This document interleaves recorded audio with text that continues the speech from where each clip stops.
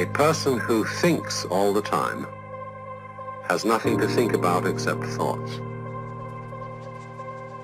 So, he loses touch with reality and lives in a world of illusions. By thoughts, I mean specifically chatter in the skull,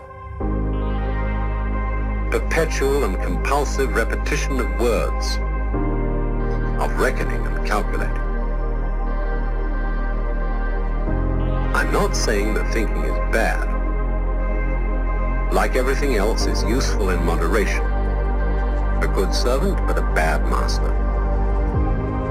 And all so-called civilized peoples have increasingly become crazy and self-destructive because through excessive thinking they have lost touch with reality.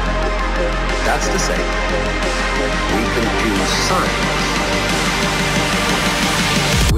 the real world.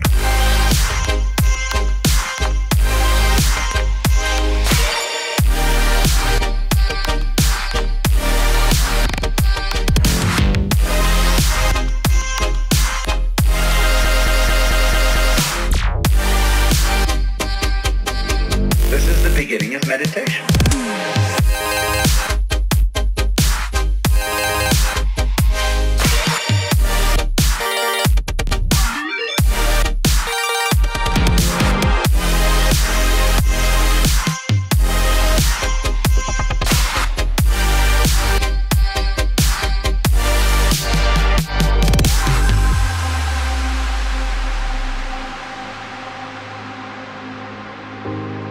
Most of us would have rather money than tangible wealth. And a great occasion is somehow spoiled for us unless photographed. And to read about it the next day in the newspaper is oddly more fun for us than the original event.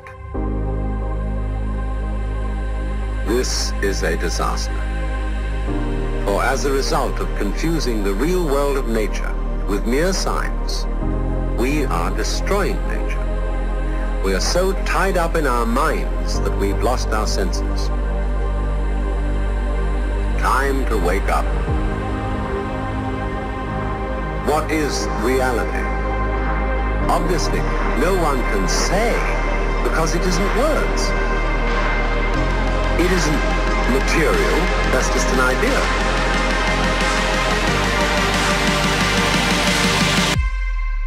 Reality is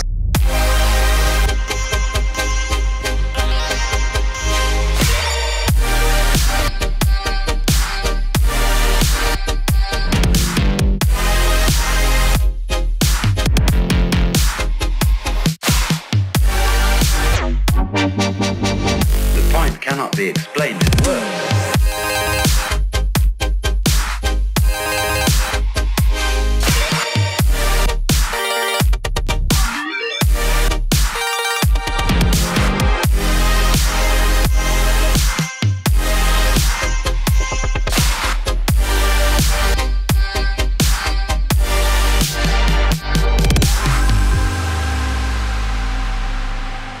I'm trying to put you down.